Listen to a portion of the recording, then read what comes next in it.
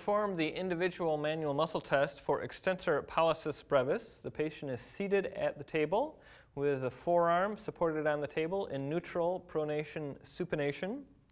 The thumb is extended with the metacarpal phalangeal joint extended, and then the distal interphalangeal joint, or the interphalangeal joint, rather, relaxed.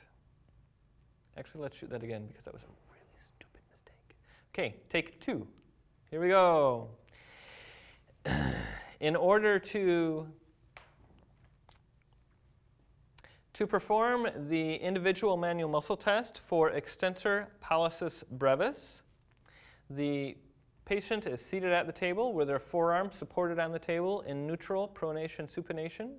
The thumb is held in extension with the metacarpal phalangeal joint in extension, and then the interphalangeal joint is just flexed or relaxed.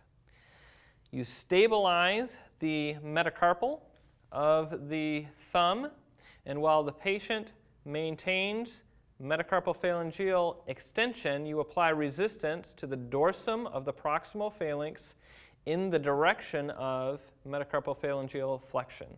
Hold that back. Don't let me move. Hold, hold, hold, hold, hold, hold, hold. Okay? This is normally a weak muscle, so you'll have to um, judge whether it is a normal or 5 out of 5 uh, as compared to other normal subjects. The uh, substitute movements for this would include if the IP joint is hyperextending, or if the CMC joint is retropositioning back in this direction, uh, that would indicate uh, abductor pollicis longus or extensor pollicis longus uh, substitution. The tendon for the extensor pollicis brevis is palpated at the radial wrist, just distal to the radial styloid.